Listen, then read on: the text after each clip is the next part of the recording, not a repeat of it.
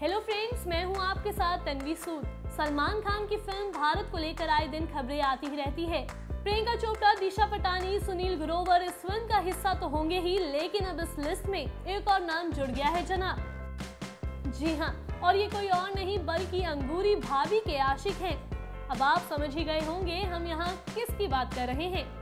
छोटे पर्दे पर विभूति नारायण के किरदार से लोगों को हंसा हंसा कर लोटपोट करने वाले आसिफ शेख अब सलमान के साथ भारत में काम करने वाले हैं। इस फ़िल्म में वो सल्लू की बहन के हस्बैंड के रोल में नज़र आने वाले हैं।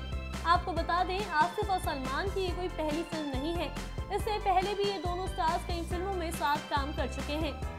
जिसमें करण अर्जुन, बंधन, प्यार किया तो डरना क्या? दिल ने जिसे अपना कहा औज़ार और शादी करके फंस गया यार जैसी फ़िल्में शामिल हैं। हाल ही में जब आसिफ से इस बारे में बात की गई तो उन्होंने इंटरव्यू के दौरान कहा कि उन्हें इस फ़िल्म का पार्ट बनकर काफ़ी खुशी हो रही है। वहीं बात करें इस फ़िल्म की तो ये Korean film ode to my father पर बेस्ड फ़िल्म है।